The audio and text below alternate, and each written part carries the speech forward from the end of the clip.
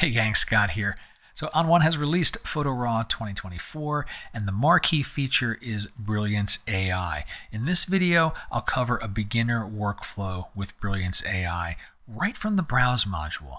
And this is one video in a series about Brilliance AI. If you haven't watched the overview video where this uh, overview unpacks Brilliance AI, kind of explains what it does and how you can control uh, aspects of what it does, go check that one out. I'll put a link in the show notes, a card up here somewhere that can jump you over to that video.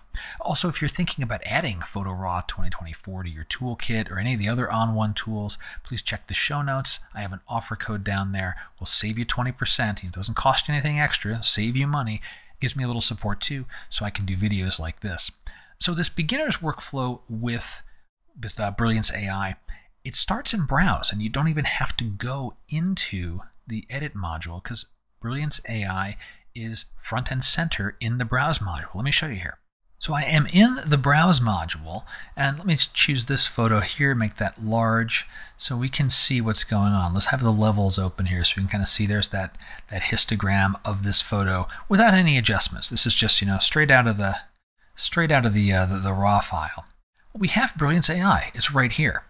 Now, by default, it's off. You know, it's not doing anything uh, to the photo you have the option to tap into the tone and color or the uh, local adjustments or you know even the noise or the retouch bits if you want it.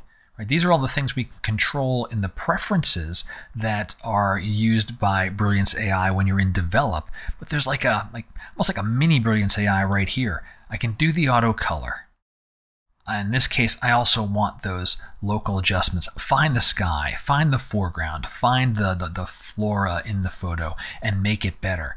And just those two clicks, and you know the photo's already you know so much improved. You know, if I, I turn that you know bit of color off, you can see everything else gets turned off because I'm turning off brilliance. Turn it back on. Yeah, that's a very nice improvement and I'm right here in Browse. I didn't have to go anywhere. If I wanted to turn on noise and uh, do retouching on the faces, I can do all that right here from Browse.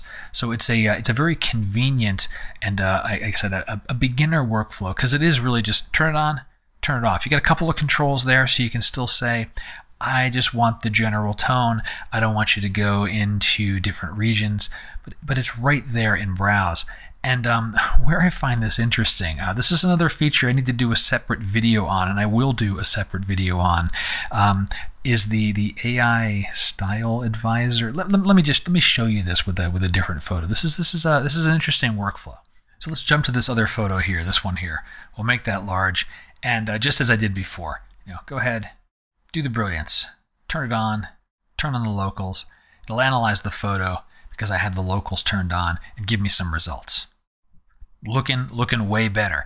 The the other bit that's interesting, I'm still in browse. I have access to my presets, right? And there's this new thing called Style Advisor, and um, I'll explain the the gory details in another video. But there are some automagic styles that get generated based on the kind of photo it is and some training that you know the ON1 team has built in here. And uh, just for uh, for like this one with the ruddy colors I like the one with the light leaks and the flares too but I'll just click on this one. It's going to tell me it's going to apply some things to the effects stack. I'm fine with that. I've only been in browse. I haven't gone into effects. Go ahead and do it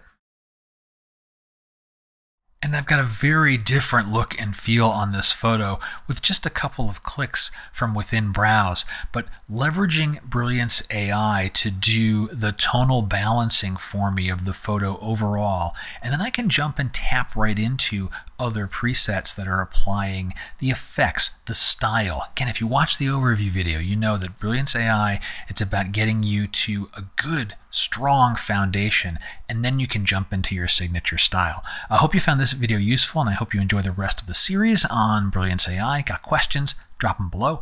And until next time, my name is Scott Davenport. Have fun.